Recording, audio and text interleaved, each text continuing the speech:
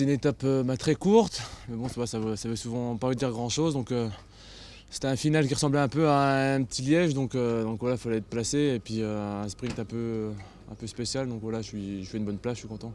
Un sprint dans lequel vous n'êtes pas contenté de juste pas perdre de temps, vous avez vraiment fait le sprint aussi. Ouais, ouais, bah façon, il fallait, fallait prendre des bonnes roues. J'étais dans la roue à Sagan et au Katusha, donc voilà, après, bah, c'était un peu sinueux, on est tous restés à sa place. Et, c'est comme ça que j'arrive à faire troisième. Qu'est-ce qui s'est passé dans le final J'ai eu l'impression de vous voir regarder à droite à gauche.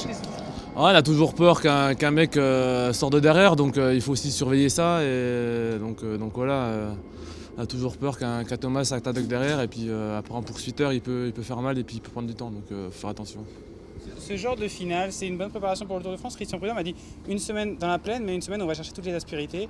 On a des risques de retrouver des finales, comme ça euh, Ouais, non, c'est sûr qu'il y a des risques. L'étape euh, bah, qui arrive au mur du 8, c'est un peu pareil, mais, euh, mais voilà, ici je suis sur le Tour de Suisse et j'ai qu'une envie, c'est de me faire plaisir. On pas, j'ai pas trop de pression ici, donc, donc voilà, je pense pas trop encore au Tour. Demain, ça va être comment ça bah, Demain, voilà, sprint, je pense, donc, donc voilà, premier sprint et voilà, juste pas perdre de temps pour mercredi.